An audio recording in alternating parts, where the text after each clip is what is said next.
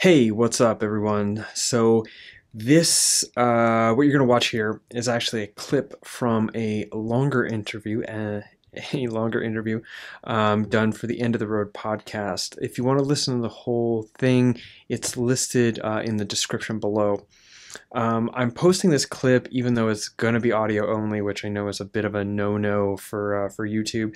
I'm posting it because I felt like it really properly encapsulates where my thoughts are right now about the discussion around entities, psychedelic entities, and plant spirits, and sort of how I'm engaging the very real, um, the very real challenge of its unbelievability, for, personally, uh, or at least the, the far reach it is outside of the conventional reality, modern reality bubble that we're in, and the very, very real um, reality of the experience as a phenomenon being present in psychedelics, and that it really calls us to contend with what's going on, um, given that it is happening at least experientially.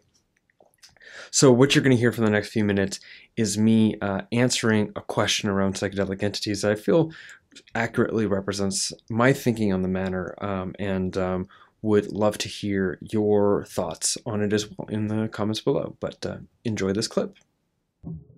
I don't know in, in any of your podcasts if I've heard you discuss, uh, um, the, you know, the whole, you know, uh, issue about, you know, the aliens, the interdimensional beings being products of our own unconscious or or uh, something something else. Uh, do, do, you have any thoughts on that?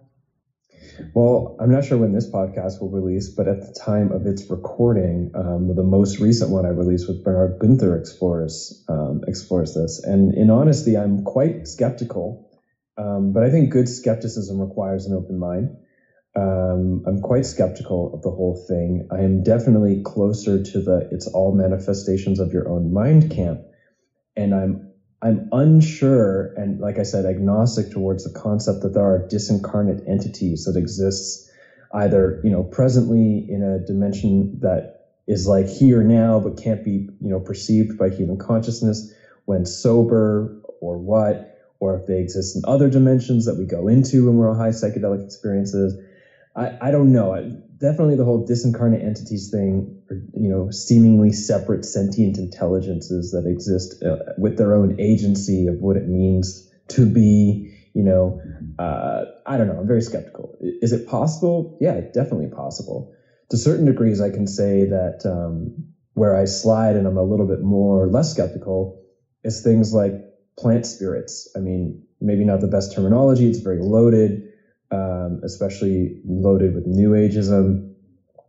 But to think that we could have in an altered state a direct, you know, in, in interaction with the intelligence of a living organism that just so happens not to, you know, think and cognize and behave the way a mammal does.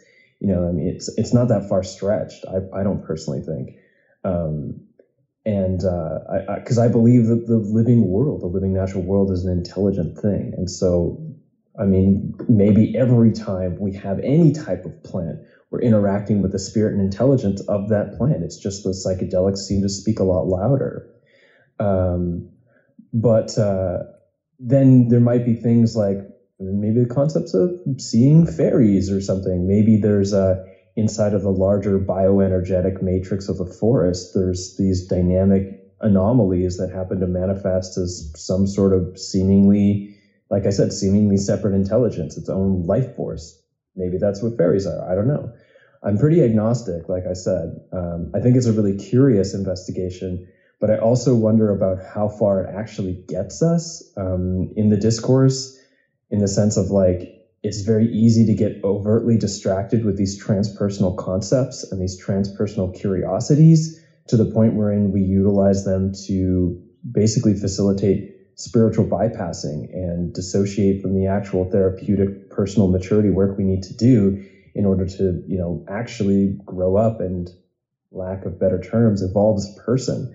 Um, so I think it's a curiosity that is very interesting, um, but it might be one that's debilitating for people because it can just distract us from the real work we should or could probably be doing that might be more um, effective use of our of our uh, of our cognitive energy.